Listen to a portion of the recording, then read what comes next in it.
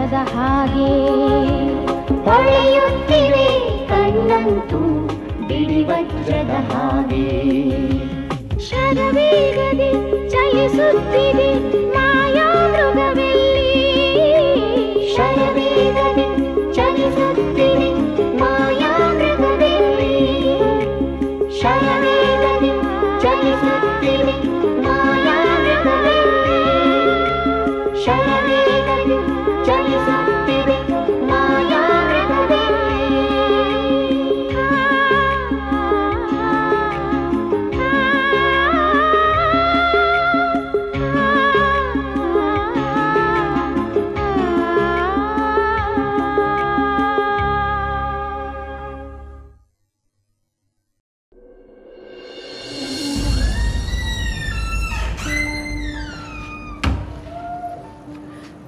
ಪರೀಕ್ಷಿತಿಗೆ ಜ್ವರ ಬಂದಿರೋ ಹಾಗಿದ್ದೀರಿ. ಒಂದೇ ಸೊನ್ನೆ ಅಳ್ತಾ ಇದ್ದಾನೆ. ಸ್ವಲ್ಪ ಡಾಕ್ಟರ್ ಜೈರಾಮಿಗೆ ಫೋನ್ ಮಾಡಿ. ನಾನು ಯಾವುದೋ ಇಂಪಾರ್ಟೆಂಟ್ ಫೋನಿಗೆ ಕಾಯ್ತಾ ಇದ್ದೀನಿ. ಆ ತುಳಸಿ ತೋಟದ ಎಕ್ಸ್ಟೆನ್ಷನ್ ಸೈಟು ಇವತ್ತು ಇತ್ತರ್ಥ ಆಗೋದ್ರಲ್ಲಿದೆ. ಫೋನ್ ಮಾಡ್ತೀನಿ ಅಂತ ಹೇಳಿದ್ದಾರೆ. ನಿನ್ನ ಸೊಸೆಗೆ ಇನ್ನೊಂದು ಫೋನಲ್ಲಿ ಮಾತಾಡೋಕ್ಕೆ ಹೇಳು. ನನ್ನ ಸೊಸೆ ಮನೇಲಿ ಇದ್ದಿದ್ರೆ ನಂಗೆ ಯಾಕೆ ಇಷ್ಟು ಕಷ್ಟ ಆಗ್ತಾ ಇತ್ತು? ಬೆಳಿಗ್ಗೆನೆ ಆಫೀಸ್ಗೆ ಅಂತ ಹೋದವಳು. ಬೆಳಿಗ್ಗೆ? ಎಂಟು ಗಂಟೆ ಆಗಿದೆ? ಇದೇನು ಮೊದಲನೇ ಸಲ ಅಲ್ವಲ್ಲ? ಮತ್ತೆ ಎಲ್ಲಿಗೆ ವೆಹಿಕಲ್ನಲ್ಲಿ ಹೋಗಿದ್ದಾಳ? ಗಾಬರಿ ಆಗೋ ಹಾಗೇನೂ ಇಲ್ಲ. ಸ್ವಲ್ಪ ಲೇಟ್ ಆಗುತ್ತೆ ಬರೋದು ಅಂತ ಅವಳು ಗಂಡನಿಗೆ ಫೋನ್ ಮಾಡಿ ಹೇಳಿದಾಳಂತೆ. ಗಂಡ ಎಲ್ಲಿದ್ದಾನೀಗ ಅವ್ನ ಕ್ಲಬ್ಬಲ್ಲಿ ಆ್ಯನಿವರ್ಸರಿ ಅಂತ ಅವ್ನು ಹೋಗಿದ್ದಾನೆ. ಸ್ವಲ್ಪ ನಿನ್ನ ಸೊಸೆಗೆ ಬುದ್ಧಿ ಹೇಳೋಕ್ಕಾಗೋದಿಲ್ವಾ? ಇಷ್ಟಿಷ್ಟೊತ್ತಿಗೆ ಬರಬೇಡ ಅಂತ. ನಾನು ಅವಳಿಗೆ ಬುದ್ಧಿ ಹೇಳಿ ಬದುಕೋಕ್ಕಾಗುತ್ತಾ? ಸದ್ಯ ಅವಳು ನನಗೆ ಬುದ್ಧಿ ಹೇಳದೇ ಇದ್ರೆ ಸಾಕು. ಸರಿ ಬಿಡು. ಇವತ್ತು ಅವಳ ಹತ್ರ ನಾನೇ ಮಾತಾಡ್ತೀನಿ.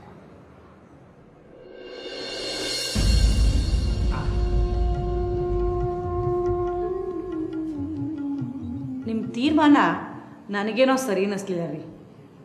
ಯಾಕೆ? ಅಲ್ಲ ಆ ಹುಡುಗ ಹುಡುಗಿ ಅಷ್ಟೊಂದು ಮುಂದುವರೆದಿರುವಾಗ ಮದುವೆ ಮಾಡಿಸ್ದೇ ಇರೋ ಸರಿನಾ? ಮದುವೆ ಮಾಡಬೇಡಿ ಅಂತ ನಾನು ಹೇಳಿಲ್ವಲ್ಲ? ಧರ್ಮಶಾಸ್ತ್ರದ ಪ್ರಕಾರ ಈ ಮದುವೆ ಮಾಡೋದು ಬೇಡ ಅಂದೆ. ಅದೇನೋ ರಿಜಿಸ್ಟ್ರಿ ಮಣ್ಣು ಮಸಿ ಅಂತಿದೆಯಲ್ಲ. ಅದ್ರ ಪ್ರಕಾರ ಮಾಡ್ಕೊಂಡು ಹೋಗ್ಲಿ ಅಂತ ಹೇಳಿದ್ನಲ್ಲ. ಆಗಲೂ ನಿಮಗೆ ಅಲ್ವೇ ನಷ್ಟ? ಹೇಗೆ? ಅಲ್ಲ ನೀವೇ ಮದುವೆ ಮಾಡಿಸಿದ್ರೆ ಅಷ್ಟೋ ಎಷ್ಟೋ ದಕ್ಷಿಣ ಸಿಗ್ತಾ ಇತ್ತು. ಸಂಸಾರಕ್ಕೆ ಸಹಾಯ ಆಗ್ತಾ ಇತ್ತು. ಈಗ ಅದಕ್ಕೂ ಕೋತ ಆಯ್ತಲ್ಲ? ಇಷ್ಟು ವರ್ಷ ಈ ಶಾಸ್ತ್ರಿ ಶಾಸ್ತ್ರದಲ್ಲಿ ಏನು ಹೇಳಿದೆಯೋ ಅದನ್ನೇ ಪಾಲಿಸ್ಕೊಂಡು ಬಂದವನು. ಅದೇ ನನ್ನ ಸಂಸಾರವನ್ನು ಕಾಪಾಡ್ತಾ ಇರೋದು. ದುಡ್ಡಿನ ಆಸೆಗೋಸ್ಕರ ನಾನು ಶಾಸ್ತ್ರಕ್ಕೆ ವಿರೋಧವಾಗಿ ಏನೂ ಮಾಡೋದಿಲ್ಲ.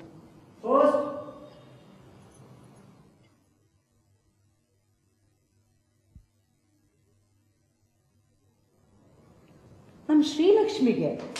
ಇದೇ ಥರ ಕಾಗ್ದ ಇದು ಮೂರನೇ ಸಲ ಬರ್ತಾ ಇರೋದು. ಮೂರನೇ ಸರಿ? ಹ್ಞೂ ತೆಗೆದು ನೋಡು.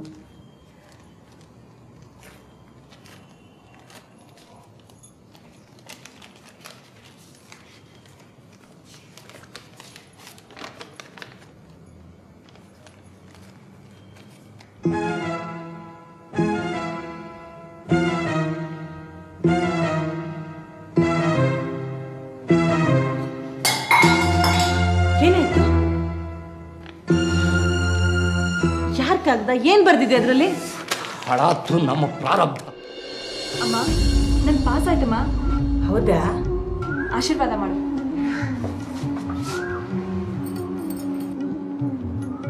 ತುಂಬಾ ಸಂತೋಷ ಅಮ್ಮ.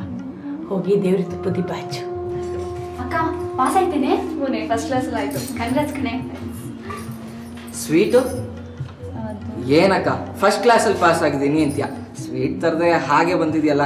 ಸ್ವೀಟ್ ತರಕೊಳ್ಳೋದ್ರ ದುಡ್ಡಲ್ಲಿರುತ್ತೋ ಹೋಗಿ ಅರ್ಧ ಕೆ ಜಿ ಸಕ್ಕರೆ ತಗೊಂಬ ನಾನೇ ಕೊಬ್ಬರಿ ಮಿಠಾಯಿ ಮಾಡ್ಕೊಡ್ತೀನಿ. ಪ್ರಜಹಾತಿ ಯದಾ ಕಾಮಾನ್ ಸರ್ವಾನ್ ಪಾರ್ಥಮನೋಗತಾನ್ ಆತ್ಮನ್ನೇವಾತ್ಮನಾ ಸ್ಥಿತ ಪ್ರಜ್ಞಸ್ಥಿತ ಉಚ್ಯತೆ. ಏನಮ್ಮ ಸಮಾಚಾರ? ಅಪ್ಪ ನನ್ನ ಪರೀಕ್ಷೆಲಿ ಪಾಸ್ ಆಯ್ತಪ್ಪ. ಬಹಳ ಸಂತೋಷ. ದೇವರ ಕೃಪೆ ನಿನ್ನ ಶ್ರಮ ಇವೆರಡರಿಂದ ಆಗಿದೆ. ಮೊದಲು ಲಕ್ಷ್ಮೀ ನರಸಿಂಹನ ನಮಸ್ಕಾರ ಮಾಡಿ.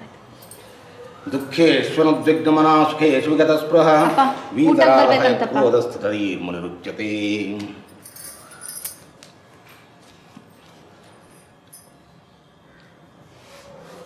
ಭಗವಂತ ರಕ್ಷಿಲ್ಲ ಸಿಂಹ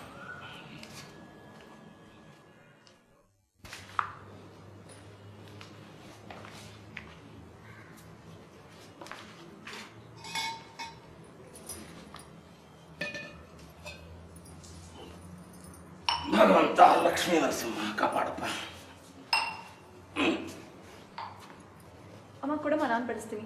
ನೀ ಕೂತ್ಕೊಳ್ಳಮ್ಮ ಸುಸ್ತಾಗಿ ಬಂದಿದ್ಯಾ? ನಾ ಬಡಿಸ್ತೀನಿ.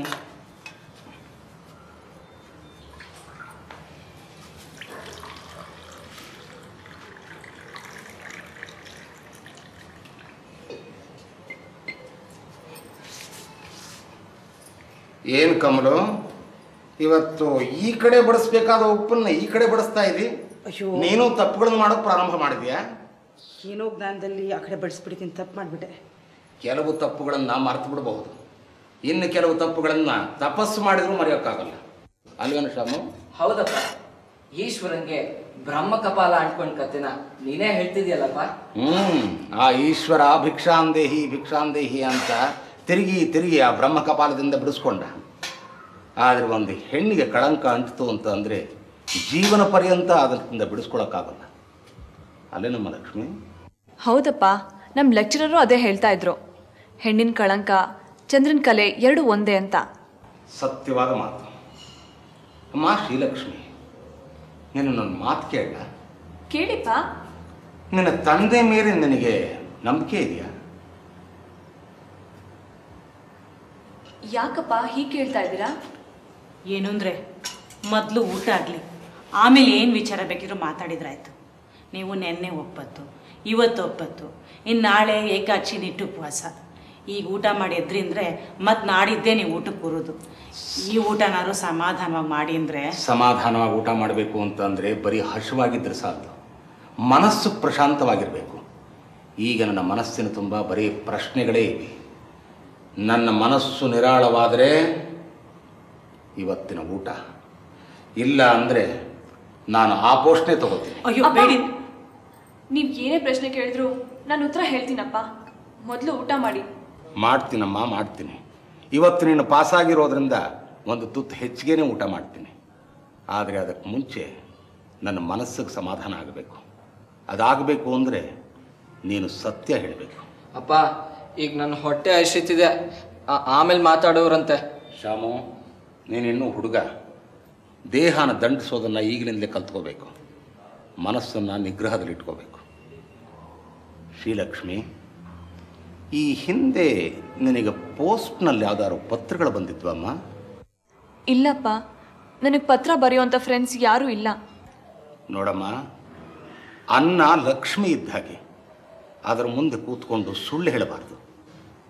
ಈ ಹಿಂದೆ ಎರಡು ಪತ್ರಗಳು ಬಂದಿಲ್ವೋ? ಬಂದಿತ್ತಪ್ಪ. ಅದು ಯಾರು ಬರೆದಿದ್ದು ಅಂತ ನನಗೆ ಗೊತ್ತಿಲ್ಲ. ಏನೇನೋ ಕೆಟ್ಟ ಕೆಟ್ಟದಾಗಿ ಬರ್ದಿತ್ತಪ್ಪ. ಕೆಟ್ಟ ಕೆಟ್ಟಾಗಿ ಬರೆದಿತ್ತು ಅಂತ ಹೇಳಿ ನೀನು ಅದನ್ನು ಗುಟ್ಟಾಗಿಟ್ಬಿಟ್ಯಾ? ಇಲ್ಲಪ್ಪ. ಅದನ್ನ ಅವತ್ತೇ ಹರಿದಾಕ್ಬಿಟ್ಟೆ. ನನಗೆ ಯಾಕೆ ತೋರಿಸ್ಲಿಲ್ಲ. ರೀ ಚಿಕ್ಕ ಮಕ್ಕಳ ಮುಂದೆಲ್ಲ ಯಾಕೆ ಈ ಮಾತು? ಆಮೇಲೆ ಅವಳು ಒಬ್ಬಳನ್ನೇ ಕರೆದು ಕೇಳಿದ್ರಾಗಲ್ವೇ? ಅವ್ರಿಗೂ ಗೊತ್ತಾಗ್ಲಿ ಅಂತಾನೆ ಹೇಳ್ತಾ ಇತ್ತು ಹಿರಿಯಕ್ಕನ ಚಾಳಿ ಮನಮಂದಿಗೆಲ್ಲ ಅಂತ ಆಗಬಾರ್ದು. ಇದು ಅವರಿಬ್ಬರಿಗೂ ಎಚ್ಚರಿಕೆ ಗಂಟೆ. ನೀ ಹೇಳಮ್ಮ ಯಾಕೆ ಆ ಪತ್ರ ನನಗೆ ತೋರಿಸ್ಲಿಲ್ಲ? ಅದರಲ್ಲಿ ಬರಿಬಾರ್ದೇ ಇರೋದೆಲ್ಲ ಬರ್ದಿತ್ತಪ್ಪ. ಅದನ್ನ ನೋಡಿ ನೀವೆಲ್ಲಿ ನೊಂದ್ಕೋತಿರೋ ಅಂತ ತೋರಿಸ್ಲಿಲ್ಲ. ಆಗ್ಬಿಟ್ಟೆ. ಇವತ್ತು ಬರೀಬಾರ್ದು ಬರೆದಿತ್ತು ಅಂತ ಹೇಳಿ ಮುಚ್ಚಿಟ್ಟೆ. ನಾಳೆ ನಡಿಬಾರ್ದು ನಡೆದು ಹೋಗುತ್ತೆ. ಅದನ್ನು ಮುಚ್ಚಿಡ್ತೀಯ? ಹೇಳಮ್ಮ ಆ ಪತ್ರ ಬರೆದ ಹುಡುಗನಿಗೂ ನಿನಗೂ ಎಷ್ಟು ದಿವಸದಿಂದ ಪರಿಚಯ? ಇಲ್ಲಪ್ಪ ಅವನು ಯಾರು ಅಂತ ನನಗೆ ಗೊತ್ತಿಲ್ಲ. ಈ ರೀತಿ ಒಂದು ತಿಂಗಳಿಂದ ಎರಡು ಪತ್ರ ಬರೆದಿದ್ದಾನೆ. ನೀನು ನನ್ನನ್ನು ಪ್ರೀತಿಸ್ಬೇಕು. ನಾನು ನಿನ್ನನ್ನು ಪ್ರೀತಿಸ್ತಾ ಇದ್ದೀನಿ. ನೀನು ಈ ಸೀರೆ ಉಟ್ಕೊಂಡು ಪಾರ್ಕಿಗೆ ಬಾ. ಈ ರೀತಿ ಏನೇನೋ ಬರೆದಿದ್ದಾನಪ್ಪ. ನೀನು ಅವನು ಹೇಳಿದ ಜಾಗಕ್ಕೆಲ್ಲ ಹೋಗಿದ್ಯಾ? ಬೇರೆ ಯಾರಿಗಾದ್ರೂ ಹೇಳಿದ್ಯಾ? ನನಗೂ ನಿಮ್ಮ ಅಮ್ಮನಿಗೂ ಹೇಳ್ಬೋದಾಗಿತ್ತಲ್ವಾ ನಾವಿಬ್ಬರು ನಿನ್ನ ಪಾಲ್ಗೆ ಅಷ್ಟೊಂದು ದೂರ ಆಗ್ಬಿಟ್ವೇನಮ್ಮ? ಇಲ್ಲಪ್ಪ ಅದು ಹಾಗಲ್ಲ. ನೀವಿಬ್ಬರು ಆ ಪತ್ರ ಓದಿ ಎಲ್ಲಿ ಚಿಂತೆ ಮಾಡ್ತಿರೋ ಅಂತ ನಾನೇ ಹೇಳಿಲ್ಲ. ಆದರೆ ಅದನ್ನು ಇಷ್ಟು ದಿವಸ ಮುಚ್ಚಿಟ್ಟಿದ್ರಿಂದ ನಿನ್ನ ಬಗ್ಗೆನೂ ಚಿಂತೆ ಮಾಡೋ ಹಾಗಾಗಿದೆಮ್ಮ ನನ್ನ ಬಗ್ಗೆ ಚಿಂತೆ ಮಾಡೋ ರೀತಿ ನಾನೇನು ಮಾಡಿಲ್ಲಪ್ಪ. ನನ್ನ ನಂಬಿ. ಇಂಥ ನೂರು ಪತ್ರ ಬಂದ್ರೂ ನಾನು ನನ್ನ ಮನಸ್ಸನ್ನ ಕೆಡೋಕೆ ಬಿಡೋದಿಲ್ಲಪ್ಪ. ನನ್ನ ನಂಬಿಪ್ಪ. ಪ್ಲೀಸ್. ನಂಬ್ತೀನಿ. ನಿನ್ನನ್ನು ನಂಬ್ತೀನಿ. ಆದರೆ ನಿನ್ನ ವಯಸ್ಸನ್ನು ನಂಬಲ್ಲ. ನನ್ನ ಸಮಾಧಾನಕ್ಕೆ ದೇವರ ಹೆಸರಿನಲ್ಲಿ ನನಗೊಂದು ಮಾತು ಕೊಡ್ತೀಯಾ? ಸರಿಪ್ಪ. ಬಾ.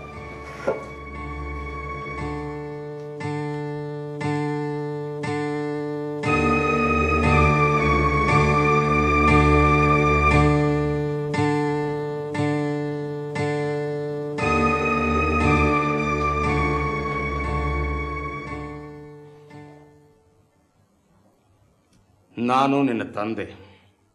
ನಿನ್ನ ಅಭ್ಯುದಯನೇ ನಾನು ಬಯಸೋದು. ಇದುವರೆಗೂ ನನ್ನ ಜೀವನದಲ್ಲಿ ಎಲ್ಲ ತೀರ್ಮಾನಗಳನ್ನು ನಾನು ತಗೊಂಡಿದ್ದೀನಿ. ಇನ್ನು ಮುಂದೆ ನಿನ್ನ ಮದುವೆ ವಿಷಯದಲ್ಲೂ ನಾನೇ ತೀರ್ಮಾನ ತಗೊಳ್ಳೋದು. ನನ್ನ ಮಾತನ್ನು ಮೀರೋದಿಲ್ಲ ಅಂತ ಹೇಳಿ ಮಾತು ಕೊಡು. ಆಯ್ತಪ್ಪ. ನಿಮ್ಮ ಮಾತನ್ನು ಮೀರೋದಿಲ್ಲ. ನೀವು ತೋರಿಸಿದ ಗಂಡನೇ ಮದುವೆ ಆಗ್ತೀನಿ. ಆ ತೀರ್ಥದ ಪಂಚಪಾತ್ರೆ ಐತಲ್ಲ? ಕೈ ಹಿಡಿ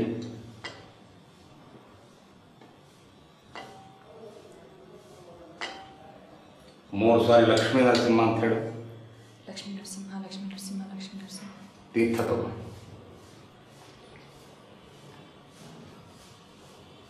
ನೋಡಿ,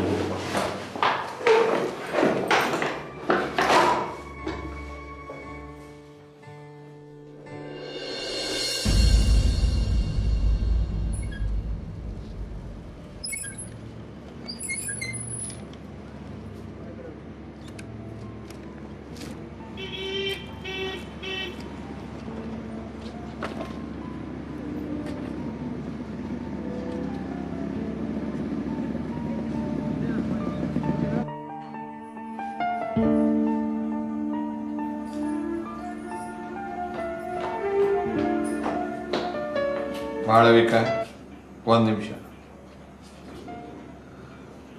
ನಿನ್ನ ಮಗನಿಗೆ ಜ್ವರ. ಹೌದಾ? ಏನಾಯ್ತು ನಾನು ಗಾಬರಿ ಆಗ್ಬೇಡ. ವಾಸಿಯಾಗಿ. ಡಾಕ್ಟರ್ ಜಯರಾಮ್ ಬಂದಿದ್ರು. ನಿದ್ದೆ ಮಾಡ್ತಿದ್ದಾನೆ. ಡಿಸ್ಟರ್ಬ್ ಮಾಡಬಾರ್ದು ನಿನ್ನ ಹತ್ರ ಸ್ವಲ್ಪ ಮಾತಾಡೋದಿತ್ತು. ಕೂತ್ಕೊ. ಪರವಾಗಿಲ್ಲ ಮಾವ. ರಾಧಾ ಮಾಳವಿಕಾಗಿ ಇಲ್ಲೇ ಊಟ ತಂದ್ಕೊಡು. ಬೇಡ ಮಾವ ನಂದು ಊಟ ಆಯ್ತು. ಅಪ್ಪನ ಮನೆಗೆ ಹೋಗಿದ್ದೆ. ಅಲ್ಲೇ ಮಾಡಿದೆ. ಓ ಅದಕ್ಕೆ ಇಷ್ಟು ಲೇಟು ನೀನು ನಿಮ್ಮ ಅಪ್ಪನ ಮನೆಗೆ ಹೋಗಿ ಕೂತಿರು ನಿನ್ನ ಮಗನಿಗೆ ಜ್ವರ ನಾವಿಬ್ರು ಒದ್ದಾಡ್ತೀವಿ. ನಾನು ಅಪ್ಪನ ಮನೇಲಿ ಹತ್ತು ನಿಮಿಷ ಇದ್ದೆ ಅಷ್ಟೇ. ಆಫೀಸಲ್ಲಿ ಕೆಲಸ ಜಾಸ್ತಿ ಇತ್ತು ಅದಕ್ಕೆ ಲೇಟ್ ಆಯಿತು. ಸಾರಿ ನಿಮ್ಗೆಲ್ಲರಿಗೂ ತೊಂದರೆ ಆಗಿದ್ದಕ್ಕೆ. ನಿಮ್ಮ ಮಗ ಮನೇಲಿರ್ಲಿಲ್ವಾ ಅವನು ಎಲ್ಲೋ ಹೋಗಿದ್ನಂತೆ. ಸ್ವಲ್ಪ ಹೊತ್ತಿಗೆ ಮುಂಚೆ ಬಂದು ಊಟ ಮಾಡಿ ಮಲ್ಕೊಂಡಿದ್ದಾನೆ. ಹೆಂಡತಿ ಅಪ್ಪನ ಮನೆಗೆ ಹೋದರೆ ಗಂಡ ಮನೇಲಿ ಕೂತಿರೋಕ್ಕಾಗುತ್ತಾ? ಗಂಡಸು ಅಂದಮೇಲೆ ಅವನಿಗೂ ಎಷ್ಟೋ ಕೆಲಸಗಳಿರುತ್ತೆ. ನಾನು ಸಂಜೆನೆ ಫೋನ್ ಮಾಡಿ ಹೇಳಿದ್ನಲ್ಲ ಮನೇಲೇ ಇರ್ತೀನಿ ಅಂದಿದ್ರು. ಚೆನ್ನಾಗಿದೆಯಮ್ಮ ಇದು. ಗಂಡ್ಸ್ ಮನೇಲಿ ಕೂತಿರ್ಬೇಕು ಹೆಂಗ್ಸ್ ಹೊತ್ತಲ್ದ ಹೊತ್ತಿನಲ್ಲಿ ಆಚೆ ತಿರುಗ್ತಿರ್ಬೇಕು. ಅತ್ತೆ ಪ್ಲೀಸ್ ಆ ಥರ ಮಾತಾಡಬೇಡಿ. ನಾನೆಲ್ಲೂ ಆಚೆ ತಿರುಗ್ತಾ ಇರಲಿಲ್ಲ. ಆಫೀಸ್ನಲ್ಲಿ ಕೆಲಸ ಇತ್ತು ಒಂಬತ್ತು ಗಂಟೆವರೆಗೂ. ಆಮೇಲೆ ಅಪ್ಪನ ಮನೇಲಿ ಹತ್ತು ನಿಮಿಷ ಇದ್ದು ಬಂದೆ. ಹತ್ತೇ ನಿಮಿಷ. ನಾನು ಅಪ್ಪನ ಮನೆಗೂ ಹೋಗಬಾರ್ದಾ? ಅಪ್ಪನ ಮನೆಗೆ ಹೋಗು. ಆದರೆ ಒಂಬತ್ತು ಗಂಟೆ ತನಕ ಆಫೀಸಲ್ಲಿ ಏನಿತ್ತು? ಇವತ್ತು ಓವರ್ ಟೈಮ್ ಇತ್ತು. ಇನ್ಕಮ್ ಟ್ಯಾಕ್ಸ್ ರಿಟರ್ನ್ ಫೈಲ್ ಮಾಡೋಕ್ಕೆ ಲಾಸ್ಟ್ ಡೇಟ್ ತಿಂಗಳಲ್ಲಿ ಇಪ್ಪತ್ತು ದಿನ ಹೀಗೆ ಆದರೆ ಹೇಗೆ? ಒಂದಿನ ಆಫೀಸು ಒಂದಿನ ಅಪ್ಪನ ಮನೆ ಒಂದು ದಿವಸ ಮೀಟಿಂಗು ಒಂದು ದಿವಸ ಓವರ್ ಟೈಮು ಒಂದಿನ ನಾಟಕ. ಈ ಭಾಗ್ಯಕ್ಕೆ ಮದುವೆ ಯಾಕೆ ಆಗಬೇಕಾಗಿತ್ತು? ಅವನಿಗೂ ಸುಖ ಇಲ್ಲ ನಮಗೂ ಸುಖ ಇಲ್ಲ. ಅತ್ತೆ ನಾನೊಂದು ಮಾತು ಹೇಳ್ತೀನಿ. ರಾಧಾ ಯಾಕೆ ಈ ಥರ ಮಾತಾಡ್ತಾ ಇದೀಯಾ ಸ್ವಲ್ಪ ಸುಮ್ಮನೆ ಅವಳ ಮನಸ್ಸಿಗೆ ನೋವಾಗೋದಿಲ್ವಾ? I am sorry Malavika. ಅವಳಿಗೂ ಯಾವುದು ಟೆನ್ಷನ್ನು ವಯಸ್ಸಾಗ್ತಾ ಬಂತಲ್ಲ? ಹೋ ಯು ಕ್ಯಾನ್ ಅಂಡರ್ಸ್ಟ್ಯಾಂಡ್ ಆ ವಿಚಾರ ಬಿಡು. ಬಾ ಕೂತ್ಕೋ. ತಂದೆ ಹೇಗಿದ್ದಾರೆ? ಅಮ್ಮ ಹೋದ್ಮೇಲೆ ಸ್ವಲ್ಪ ವೀಕ್ ಆಗೇ ಇದ್ದಾರೆ. ಹಾಂ ಹೌದು. ಮೂವತ್ತು ವರ್ಷ ಜೊತೆಯಲ್ಲಿದ್ದ ಹೆಂಡತಿ ಹೋದ್ಮೇಲೆ ಎಂಥವ್ರಿಗೂ ಬೇಜಾರಾಗುವಂಥ ಬಂತು ವಿಚಾರನೇ ಜೊತೆಗೆ ನಿನ್ನ ತಂಗಿ ಬೇರೆ ಫಿಸಿಕಲಿ ಹ್ಯಾಂಡಿಕ್ಯಾಪ್ ಕಾಲಿಲ್ಲದ ಹುಡುಗಿ. ನಿಮ್ಮ ಅಣ್ಣ ಏನು ಮಾಡ್ತಿದ್ದಾನೆ? ಒಂದಿಷ್ಟು ದಿವಸ ಬಿಸ್ನೆಸ್ ಮಾಡ್ತೀನಿ ಅಂತ ಕೂತಿರ್ತಾನೆ. ಒಂದಿಷ್ಟು ದಿವಸ ಕೆಲಸ ಹುಡುಕ್ತೀನಿ ಅಂತಾನೆ. ಯಾರೂ ಸಹಾಯ ಮಾಡಲ್ಲ. ನಿನ್ನ ತಂಗಿನ ಎಲ್ಲಾದರೂ ಕೆಲಸ ಹುಡ್ಕೊಳ್ಳೋದಕ್ಕೆ ಕೇಳು ಫಿಸಿಕಲಿ ಹ್ಯಾಂಡಿಕ್ಯಾಪ್ಡ್ ಕೋಟಾದಲ್ಲಿ ಮಿನಿಸ್ಟ್ರಿ ಹೇಳಿ ನಾನು ಕೊಡಿಸ್ತೀನಿ. ಅವ್ಳು ಕೆಲಸ ಹುಡುಕ್ತಾ ಇದ್ದಾಳೆ. ಮಾವ ನಾನು ಬರ್ತೀನಿ. ಮಗು. ಗಾಬರಿ ಆಗ್ಬೇಕಾಗಿಲ್ಲ ವಾಸಿ ಆಗಿದೆ. ನಿನ್ನ ಹತ್ರ ಮಾತಾಡಬೇಕು ಅಂದಲ್ಲ. ನಿಮ್ಮ ಆಫೀಸ್ನಲ್ಲಿ ನಿನಗೆ ಸಂಬಳ ಎಷ್ಟು ಬರುತ್ತೆ? ಯಾಕೆ ಮಾವ? ಕೋಪ ಮಾಡ್ಕೋಬೇಡ. ಸಂಬಳ ಕೇಳಿದೆ ಅಂತ. ಹೇಳೋದಕ್ಕೆ ಇಷ್ಟ ಇಲ್ಲದೆ ಇದ್ರೆ ಬೇಡ. ಯಾವುದೋ ವಿಚಾರಕ್ಕೆ ತಿಳ್ಕೋಬೇಕು ಅನ್ನಿಸ್ತು. ಮೂರು ಸಾವಿರದ ಎಂಟುನೂರು ರೂಪಾಯಿ ಬರ್ತಾ ಇದೆ. ಅಲ್ಲಿಗೆ ವರ್ಷಕ್ಕೆ ನಲವತ್ತೈದು ಸಾವಿರ ರೂಪಾಯಿ. ನೆನ್ನೆ ತಾನೇ ಇನ್ಕಮ್ ಟ್ಯಾಕ್ಸ್ ರಿಟರ್ನ್ಸ್ ಫೈಲ್ ಮಾಡ್ಬಿಟ್ಟು ಬಂದೆ. ಜಂಬಕ್ಕೆ ಹೇಳ್ತಾ ಇಲ್ಲ. ವಿಚಾರಕ್ಕೆ ನಲವತ್ತು ಲಕ್ಷ ಡಿಕ್ಲೇರ್ ಮಾಡ್ಕೊಂಡ್ರು ಇನ್ಕಮ್ ಈ ನಿನ್ನ ಮೂರು ಸಾವಿರದ ಎಂಟುನೂರು ರೂಪಾಯಿ ನಮ್ಗೆ ಅವಶ್ಯಕತೆ ಇದೆಯಾ? ನೀನು ಕೆಲಸ ಮಾಡಲೇಬೇಕಾ? ಕೆಲಸ ಮಾಡೋದು ದುಡ್ಡಿನ ಅವಶ್ಯಕತೆಗಲ್ಲ ಮನಸ್ಸಿನ ಅವಶ್ಯಕತೆಗೆ. ಕೆಲಸ ಮಾಡದೆ ಜೀವನ ಮಾಡ್ತಾ ಇದ್ರೆ ನಮ್ಮ ಬಗ್ಗೆ ನಮಗೆ ಕಾನ್ಫಿಡೆನ್ಸ್ ಹೊಟ್ಟೋಗುತ್ತೆ ಮನಸ್ಸು ಕಷ್ಟ ಆಗುತ್ತೆ. ನೀನು ಕೆಲಸ ಮಾಡೋದ್ರಿಂದ ಮನೆಯವರಿಗೆಲ್ಲ ಕಷ್ಟ ಆದರೆ? ಇವತ್ತು ಕಷ್ಟ ಆಗಿದ್ದಕ್ಕೆ ಸಾರಿ ಇನ್ನು ಮುಂದೆ ಹಾಗಾಗ್ದಾಗ ನೋಡ್ಕೋತೀನಿ. ಇನ್ಮೇಲೆ ಲೇಟ್ ಆಗೋದಾದರೆ ಮಗುನ ನಮ್ಮ ಅಪ್ಪನ ಮನೇಲೆ ಬಿಟ್ಟು ಹೋಗ್ತೀನಿ. ನನ್ನ ತಂಗಿ ವಿದ್ಯಾ ನೋಡ್ಕೋತಾಳೆ. ನಮ್ಮನೆ ಮಗುನ ಬೇರೆ ಯಾರ್ದೋ ಮನೇಲಿ ಬಿಟ್ಟಿರೋದು ಏನು ಚೆನ್ನಾಗಿರುತ್ತೆ? ನಮ್ಮ ಅಪ್ಪನ ಮನೆ ಬೇರೆ ಯಾರ್ದೋ ಮನೆ ಅಂತ ನಾನು ತಿಳ್ಕೊಂಡಿಲ್ಲ. ನಮ್ಮನೆ ಅಂತೂ ಅಲ್ಲ. ಸುಮ್ಮನೆ ಮಾತಿಗೆ ಮಾತು ಬೆಳೆಸಿದ್ರೆ ಪ್ರಯೋಜನ ಇಲ್ಲ. ಇದಕ್ಕೆ ಸುಲಭವಾದ ಒಂದು ದಾರಿ ಇದೆ. ನಾನು ಹೇಳಲ್ಲ ನೀನು ಕೆಲಸ ಬಿಟ್ಬಿಡು. ಯಾತಕ್ಕೆ ಬೇಕು ನಿನಗೆ ಕೆಲಸ? ತಿಂಗಳಿಗೆ ನಿನಗೆ ಎಷ್ಟು ಖರ್ಚು ಬೇಕು ಅಷ್ಟು ನಾನು ಕೊಡ್ತೀನಿ. ಖರ್ಚಿನ ಪ್ರಶ್ನೆ ಅಲ್ಲ ಮಾವ. ನಾನು ಇದು ಒಂದೇ ಪ್ರಶ್ನೆ ಅಂತ ತಿಳ್ಕೊಂಡಿಲ್ಲ. ಇದರಲ್ಲಿ ನನ್ನ ಮರ್ಯಾದೆ ಪ್ರಶ್ನೆ ಇದೆ. ನಾನು ಕೆಲಸ ಮಾಡೋದ್ರಿಂದ ನಿಮ್ಮ ಮರ್ಯಾದೆ ಹೋಗುತ್ತೆ ಅಂತ ನನಗೆ ಗೊತ್ತಿರಲಿಲ್ಲ ಮಾವ. ಕೆಲಸ ಮರ್ಯಾದೆ ತರುತ್ತೆ. ಮರ್ಯಾದೆ ಕಳಿಯಲ್ಲ. ನೀನು I A S officer I P S officer ಆಗಿದ್ದಿದ್ರೆ ನನ್ನ ಮರ್ಯಾದೆ ಹೋಗ್ತಿರ್ಲಿಲ್ಲ. ನೀನು ಯಾವುದೋ ಸಣ್ಣ ಆಫೀಸ್ನಲ್ಲಿ ಕಂಪ್ಯೂಟರ್ ಆಪರೇಟರ್ ಆಗಿದ್ದೀಯಾ? ಅದರಿಂದ ದೊಡ್ಡ ಮರ್ಯಾದೆ ಬಂದ್ಬಿಡುತ್ತಾ ನಮಗೆ ನಮ್ಮ ಡ್ರೈವರ್ ಹೆಂಡತಿ ನಿಂಗಲ್ಲಿ ಆಫೀಸಲ್ಲಿ ಬಾಸ್ ಅಂತೆ? ನೀನು ಹೇಳೇ ಇರಲಿಲ್ಲ. ಡ್ರೈವರ್ ಹೆಂಡತಿ ಬಾಸ್ ಆಗಬಾರ್ದಾ? ಅದೆಲ್ಲ ಬೇಡ. ನನಗೆ ಸಮಾಜದಲ್ಲಿ ಗೌರವ ಇದೆ. ನಾಲ್ಕು ಜನಕ್ಕೆ ನಾನೇನು ಅಂತ ಗೊತ್ತು. ಯಾವುದಕ್ಕೂ ಚೇರ್ಮನ್ ಮಾಡಬೇಕು ಅಂತ ಸರ್ಕಾರದವರು ಯೋಚನೆ ಮಾಡ್ತಾ ಇದ್ದಾರೆ. ಇಂಥ ಸಮಯದಲ್ಲಿ ನಿನ್ನನ್ನು ಯಾವುದೋ ಸಣ್ಣ ಕೆಲಸಕ್ಕೆ ದುಡ್ಡು ದುಡಿಯೋ ದುಡಾಸೆಗೋಸ್ಕರ ಕಳಿಸ್ತಾ ಇದ್ದೀನಿ ಅಂತಂದರೆ ನನ್ನ ಬಗ್ಗೆ ಚೀಪಾಗಿ ಯೋಚನೆ ಮಾಡೋದಿಲ್ಲ. ನೀವು ಕಳಿಸ್ತಾ ಇರೋದಲ್ಲ ಅದು ನಾನೇ ಹೋಗ್ತಾ ಇರೋದಲ್ವಾ? ಕೆಲ್ಸಕ್ಕೆ ಹೋಗೋನ ಮದುವೆ ಆಗಬೇಡ. ದುಡ್ಡು ದುಡಿಯೋರಿಗೆ ತಲೆ ನಿಲ್ಲಲ್ಲ ಅಂತ ಅವನಿಗೆ ಹೇಳಿದೆ. ಸ್ತ್ರೀ ಸ್ವಾತಂತ್ರ್ಯ, ಕ್ರಾಂತಿ ಅಂತ ಹಾರಾಡಿಬಿಟ್ಟ. ಅವನ ಮದುವೆ ಆಗೋದಕ್ಕೆ ಸಾವಿರ ಜನ ಹುಡುಗಿಯರು ತಯಾರಿದ್ರು, ಕ್ಯೂನಲ್ಲಿ. ಎಲ್ಲ ಬಿಟ್ಟು ನೀನು ಸ್ವಲ್ಪ ಸುಮ್ಮನೆ ನಾಲ್ಕು ವರ್ಷದ ಹಿಂದೆ ಆದ ಮದುವೆ ವಿಚಾರ, ಈಗ ನೋಡಮ್ಮ ಮಾಳ್ವಿಕಾ, ನಾನು ಹೇಳೋದಿಷ್ಟೇ, ನೀನು ಕೆಲಸಕ್ಕೆ ಹೋಗೋದು ನಮ್ಗೆ ಯಾರಿಗೂ ಇಷ್ಟ ಇಲ್ಲ. ಅದರಿಂದ ನಮ್ಮೆಲ್ಲರಿಗೂ ತೊಂದರೆ. ಇಷ್ಟ್ರ ಮೇಲೆ ನಿನ್ನ ಇಷ್ಟ. ಮಗು ನೋಡ್ಬೇಕೇನೋ?